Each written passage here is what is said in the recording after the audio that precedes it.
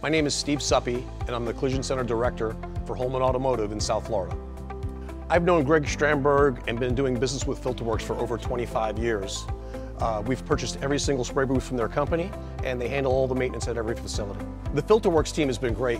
Whenever we have a problem, and we rarely do, they come out and take care of it. And their maintenance program has been excellent. One of the things that I love most about working with Filterworks on a project is they work with us from start to finish, from layout and design to coordinating with our contractor to the installation and the final product. Unlike most spray booth companies, Filterworks is a licensed contractor. They do everything with the city, including all the permitting. When you repair 350 cars a month, you can't stop in the middle of the day to do spray booth maintenance. Now Filterworks offers nighttime spray booth maintenance, which eliminates downtime and makes us much more productive. I would definitely recommend Filterworks. They offer turnkey solutions to spray booth installation and maintenance.